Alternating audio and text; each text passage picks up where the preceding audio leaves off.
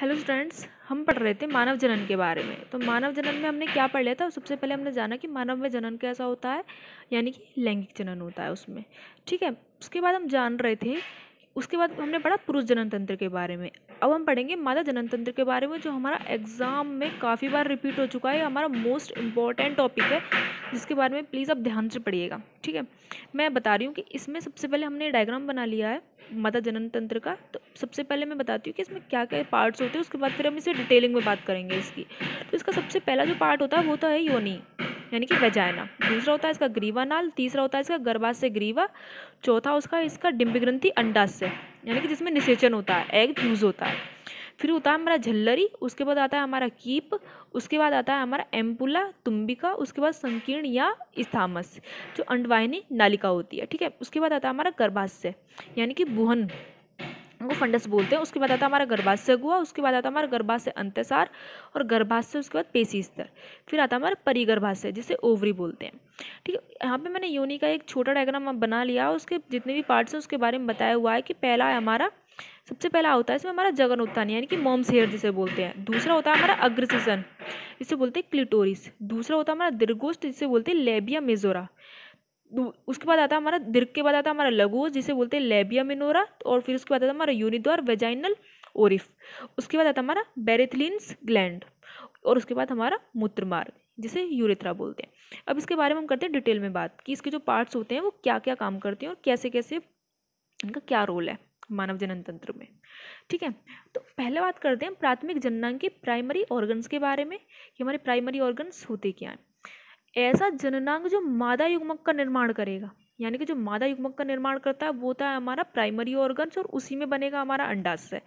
अब अंडाशय क्या होता है कि ये मादा में एक जोड़ी, यानी कि दो बादाम के आकार की लगभग दो सेंटीमीटर लंबी और दो सेंटीमीटर चौड़ी, एक सेंटीमीटर मोटी गर्भाशय के दोनों ओर उपस्थित ओवरी है। यानी कि मादा में क्या होता है कि दो बादाम के आकार की लगभग दो सेंटीमीटर लंबी और दो सेंटीमीटर चौड़ी, एक सेंटीमीटर मोटी गर्भाशय के दोनों ओर उपस्थित ओवरी पाई जाती हैं। ठीक है, और इनका मुख्य कार्य क्या होता है? इनका मुख्य कार्य होता है अंडाणुओं का निर्माण करना। अंडाणु का निर्माण करेंगे ओवरी और इनसे एक विशेष प्रकार का हार्मोन प्रोजेस्ट्रोन श्रावित होगा। प्रोजेस्ट्रोन जो हार्मोन है, इसका क्या रोल है? ये जो प्रोजेस्ट्रोन हार्मोन्स है, ये फीमेल सीक्रेटेड हार्मोन्स है, जो हमारा जब हम जनन होता है, उस टाइम पे हमारा काम आता है। ठीक है, और जो मेल्स होते हैं, मेल्स के बारे में हमने बात करा था कि मेल्स में जो कौन सा हार्मोन रिलीज़ हो रहा था, वो था टेस्टिस्टेरोन। तो जो प्रोजेस्ट्रोन और टेस्टिस्टेरोन है, ये हमारे जो हमारे शॉर्ट क्वेश्चन होते हैं, उसमें कई बार पूछ लिया जाता है कि मेल सीक्रेटेड हार्मोन्स कौन था और फीमेल सीक्रेटेड हार्मोन्स कौन सा होता है। ठीक है? ये मादा में द्वितीयक लैंगिक लक्षण जैसे विकास को प्रेरित करता है और यौनारंभ निर्माण करता है। यानी कि जब प्रोजेस्ट्रॉन हार्मोन श्रावित होगा तो इसमें क्या होगा कि मादा में द्वितीयक लैंगिक लक्षण विकास जैसे, यानी कि जो विकास होते हैं, वो प्रेरित हो जाएगा और यौनारंभ उसमें शुरू हो जाएगा। ठीक है? दूसरे आते हैं हमारे सहायक जननांग एसेसरी सेक्स ऑर्गन ठीक है? उसमें आता है सबसे पहले हमारा अंडवाहिनी ओविडक्ट अंडवाहिनी क्या होती है हमारी? अंडवाहिनी एक जोड़ी होती है तथा अंडाशय के दोनों तरफ़ पाई जाती है। अंडवाहिनी एक जोड़ी होती है और अंडाशय के दोनों तरफ़ पाई जाती है और इसका मुख्य सिरे पर झालर पाई जाती है। ठीक है? मुख्य सिरे पर झालर जैसे कि मैं आपको दिखा रही हूँ इसमें कि ये जो इसमें झालर सी है, इसको इसको बोलते हैं। ठीक है? झालर पाई जाती है, जिसे बोलते हैं फिम्ब्रई। ये अंडाशय से जुड़ी रहती है। ठीक है, अब आता है हमारा गर्भाशय, यूट्रस। यूट्रस क्या करता है? ये लगभग साढ़े सात सेंटीमीटर लंबा, पाँच सेंटीमीटर चौड़ा और तीन सेंटीमीटर चौड़ा अंग होता है। पाँच सेंटीमीटर मोटा और तीन सेंटीमीटर चौड़ा अंग होता है और ये मूत्राशय के ऊपर पीछे की ओर स्थित होता है। और इसी में क्या होता है? इसमें फर्टिलाइजेशन होता है। फर्टिलाइज एग आकर प्लांट हो जाएगा, यानी कि रुक जाएगा और इसी में भ्रूण का निर्माण होगा।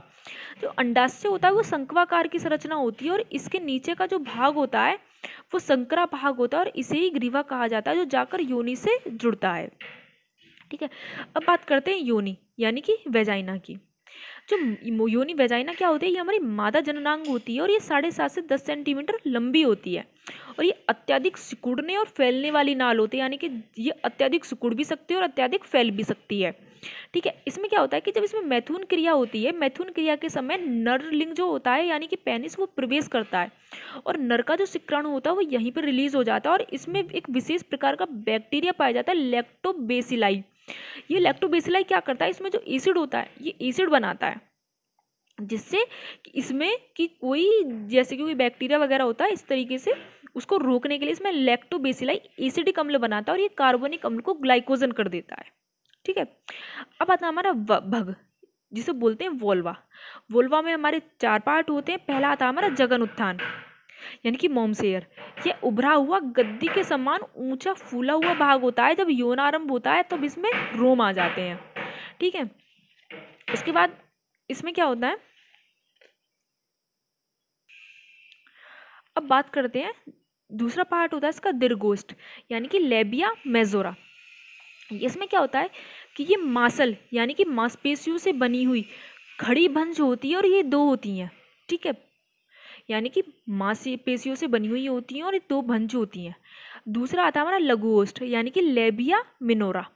इसमें क्या होता है, इसमें दीर्घोष्ठ के अंदर ये पाया जाता है और ये काफ़ी मुलायम मांसल होते हैं और इसके आंतरिक तले पर तेल, वसा आदि ग्रंथि होती है, जिस कारण ये काफ़ी चिकनी होती है। यानी कि इस पर क्या पाया जाएगा, इस पर तेल, वसा आदि ग्रंथि होती है, जिस कारण ये काफ़ी चिकनी और लचीली होती है। उसके बाद आता है हमारा डी प्रकोष्ठ, जिसे बोलते हैं वेस्टिबुली। वेस्टिबुली क्या होता है हमारा? ये प्रकोष्ठ के अंदर दो छिद्र होते हैं, दो छिद्र उपस्थित होते हैं और एक यूनि द्वार और दूसरा होता है उसमें मूत्रमार्ग और तीसरा होता है हमारा भक्सिसन।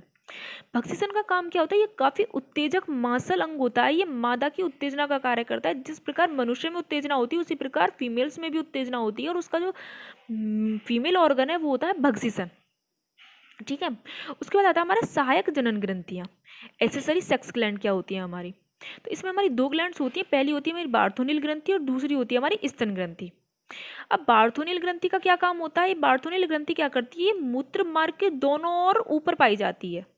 मूत्र मार्ग के दोनों ओर पाई जाती है और ये विशेष प्रकार का लुब्रिकेंट, सीक्रेट करती है जो प्रजनन क्रिया में सहायक होता है। यानी कि एक लुब्रिकेंट सीक्रेट करेगी और जो प्रजनन क्रिया होगी, जब उसमें ये सहायता प्रदान करेगा। फिर आती है हमारी स्तन ग्रंथि। कि हमारी स्तन ग्रंथि क्या होती है? स्तन ग्रंथि जो होती है तो हमने बात करी थी पहले कि जो नर और मादा दोनों में पाई जाती है, लेकिन नर में क्या होती है? ये असक्रिय होती है और फीमेल में क्या होती है? ये सक्रिय होती है। तो इसके बारे में पढ़ते हैं कि नर और मादा दोनों में पाई जाती हैं, नर में सक्रिय नहीं होती और मादा में सक्रिय होती हैं। जब यौन आरंभ शुरू होता है, यानी कि जब फीमेल्स में यौन आरंभ शुरू होता है तो या, ये काफ़ी फूला हुआ भाग हो जाता है, यानी काफ़ी भूल जाता है ये वाला भाग, क्यों अब फूलता क्यों है? क्योंकि इसमें वसीय ऊतक पाए जाते हैं। ठीक है? इसमें वसीय ऊतक पाए जाएँगे, जिसमें वसा होगी और ये वसीय ऊतक क्या होते हैं? पंद्रह से बीस पालियों में पाए जाते हैं और इसमें अंगूर के समान स्तन ग्रंथियाँ होती हैं जो दुग्ध स्रावित करती हैं। यानी कि आफ्टर बेबी बर्थ क्या होता है कि जब ब्रेस्ट फीडिंग होती है तो ब्रेस्ट फीडिंग में ये काम आते हैं। यानी कि जब दुग्ध स्रावित होगा, वो आफ्टर बेबी बर्थ होगा। और उसमें जब बेबी फ़ीड करता है, तब इसको ये तब उस टाइम पे ये दूसरावित करती हैं। तो ये हो गया हमारा, हमने पढ़ लिया अपना पुरुष तंत्र के बारे में और मादा जनन तंत्र के बारे में। उसके बाद हम अपना नेक्स्ट टॉपिक स्टार्ट करेंगे अब, कल से।